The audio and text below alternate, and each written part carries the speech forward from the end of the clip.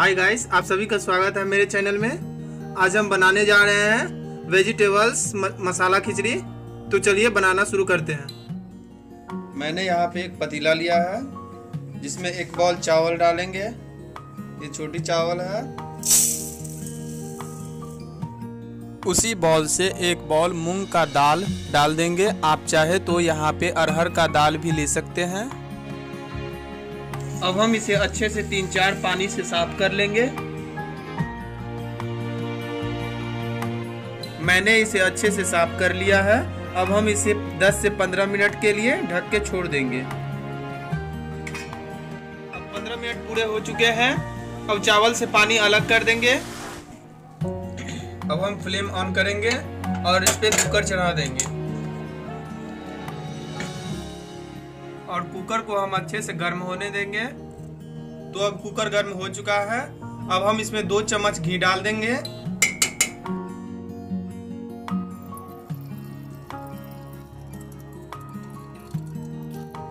तो अब घी गर्म हो चुका है। अब हम इसमें दो हरी मिर्च लंबी कटी हुई डाल देंगे। दो प्याज बारीक कटी हुई। अब हम इसे अच्छे से मिला लेंगे। और फ्लेम को मीडियम रखेंगे। अब हम इसे एक मिनट के लिए भून लेंगे।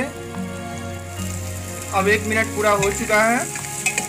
अब हम इसमें गोभी डाल देंगे, जिसे मैंने छोटे छोटे टुकड़ों में काट लिया इस तरीके से। अब हम गाजर डाल देंगे, जिसे मैंने बारीक काट लिया है। अब हम इसमें आलू डाल देंगे, जिसे मैंने इस तरीके से काट लिया है। अब हम इसे अच्छी तरह से मिला लेंगे। और हम इसे एक मिनट के लिए भून लेंगे। अब एक मिनट पूरे हो चुके हैं। अब हम इसमें फ्रेश मटर डाल देंगे। एक टमाटर बारीक कटी हुई। अब हम इसे भी एक मिनट के लिए भून लेंगे।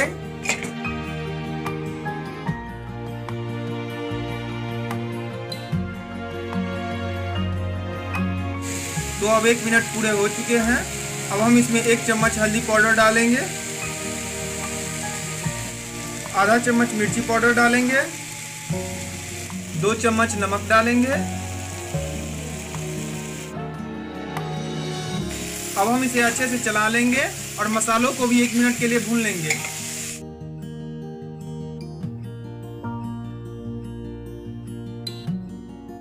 तो अब एक मिनट पूरे हो चुके हैं। अब हम चावल और दाल जिसे मैंने धो के रखा था, डाल देंगे।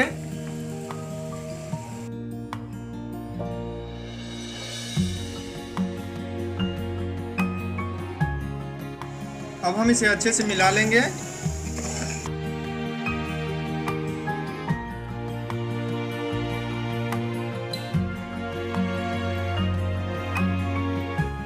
अब हम उसी बॉल से छह बॉल पानी डाल देंगे।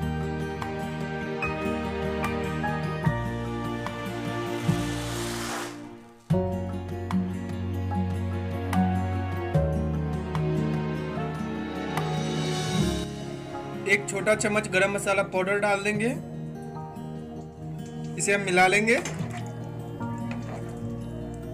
अब हम इसका ढक्कन बंद कर देंगे। हाई फ्लेम पे एक सीटी लगने देंगे। उसके बाद हम फ्लेम को मीडियम कर लेंगे और मीडियम फ्लेम पर हम इसे तीन सीटी लगने देंगे।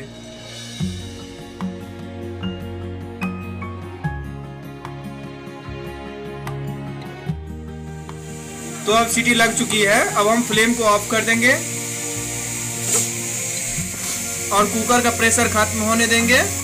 तो अब कुकर का प्रेशर निकल चुका है। अब हम इसे खोल देंगे।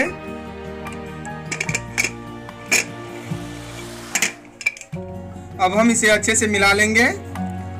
अभी खिचड़ी गाढ़ी है। अगर गाढ़ा खिचड़ी खाना पसंद करते हैं तो तो आप इसी तरह से रखें। अगर पतला खिचड़ी खाना पसंद करते हैं तो आप इसमें गर्म पानी डाल दें। और इसे अच्छे से मिला लेंगे। अब हम इसके ऊपर बारीक कटी हुई हरी धनिया छिड़क देंगे। और इसे अच्छी तरह से मिला लेंगे। अब हम इसे ढक देंगे और इसके लिए हम तड़का तैयार करेंगे। तो अब ये गर्म हो चुका है। अब हम इसमें दो चम्मच घी डाल देंगे।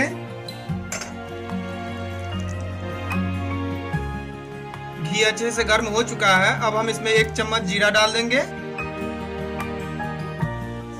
दो से तीन सूखी लाल मिर्च। दो तेज पत्ता।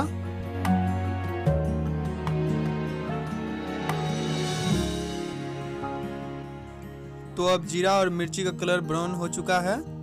तो हम फ्लेम को ऑफ़ कर देंगे। अब हम इस तड़का को खिचड़ी में डाल देंगे